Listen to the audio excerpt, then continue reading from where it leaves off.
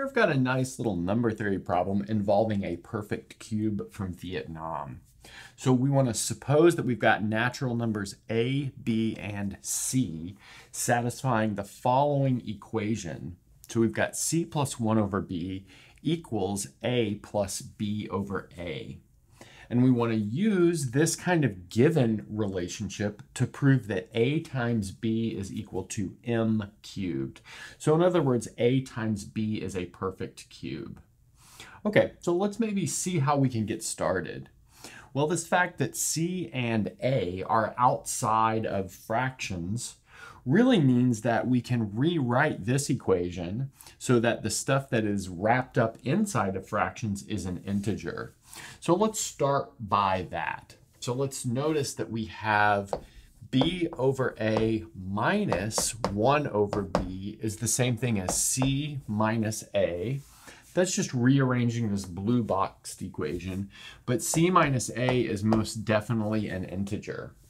Well, that's because a and c are natural numbers, so their difference is an integer. Okay, but now we can do some arithmetic on this right-hand side of our equation. So let's maybe give this a common denominator. Notice the common denominator will obviously be a times b. So that's going to give us b squared minus a over a times b is an integer. So that follows from this kind of rewriting of our given equation. Okay, so let's see what we can do from there. Well, the fact that this is an integer means the numerator is a multiple of the denominator. So that means we can write b squared minus a as k times ab for some integer k. Okay, great. Okay, and then we can rewrite this a couple of different ways. So notice we can start by rewriting this as a equals b times ka minus b. Okay, so that's just rewriting that thing a little bit, kind of solving for a. We can also solve this for b squared, and we'll see that b squared is equal to a times kb minus 1. But now we look at this and we say that means a is a multiple of b and b squared is a multiple of a. So that kind of setup is pretty special. Now I'm going to collapse these numbers together. So I'll rewrite this as m. So I have a is equal to m times b. And then likewise, I'll take this stuff and collapse it together into x. So we have b squared is equal to a times x. And so now I'll just go ahead and throw these two equations, which I have in red, together. So I'll take this version of A and plug it in here. So let's see what that gives us. That gives me b squared is equal to, well, a, but notice that's m times b. So I can write that as m times b times x. But check it out, I can just cancel the x from both sides, and I'm left with b is equal to m times x. But now, throwing that back into this equation, I see that that means that a is equal to m squared times x. And just kind of as a little thing to point out really quickly, that means that ab is equal to m cubed times x squared. Okay, but notice m cubed is already a perfect cube, so we just need to show that x squared is a perfect cube. And how this works out is usually when we've got this like extra term here, this extra term is extra special nice. So what's maybe the simplest perfect cube? Well, it's probably 1 cubed, which is equal to 1. So keeping that in mind, I'll just put probably here we have x is equal to 1. Now, not definitely, but probably. And that's just because a lot of times these things work out more nicely than they really have to for the solution to occur. And that's like actually a really And that's actually a really important trick to keep in mind whenever you're solving problems like this is these problems are probably not on the edge of possibility.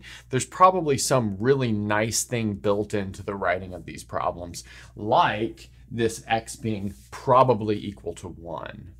Okay, so now let's kind of keep that in mind that we're probably going to get back to the place where x is equal to 1 and use what we know for sure, which is b is equal to amx, a is equal to m squared x, along with some of our previous work to finish this off.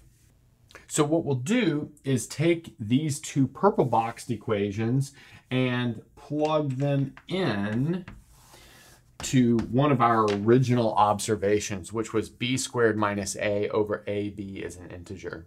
So let's see. That's going to tell us that m squared x squared, notice that's b squared, minus m squared x, notice that that is a, over a times b, which was m cubed x squared is an integer. But we can factor some stuff out of this and cancel. So let's see how we can rewrite this numerator via factoring. We can take an m squared x out of the numerator, and we're left with x minus 1. And then we can similarly factor an m squared x out of the denominator, and we'll be left with mx. So let's notice that this m squared x and this m squared x will cancel, and we're left with x minus 1 over m times x is an integer. Okay, nice. But notice the fact that that's an integer means the numerator is a multiple of the denominator. So we have x minus 1 is equal to m times x times y, where y is some integer. Okay, so let's see where we can go from there. I'm going to rearrange this to solve for 1. Notice that tells us that 1 is equal to x times 1 minus my. Okay.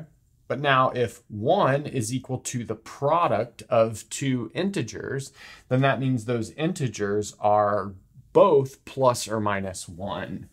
So here we have x is actually equal to plus or minus 1. Again, that's the only way that you can take the product of two integers and get the number 1. That's kind of obvious. But again, from our original observation up here, where b is equal to mx, a is equal to m squared x, we see that x must be positive because a is positive and b is positive.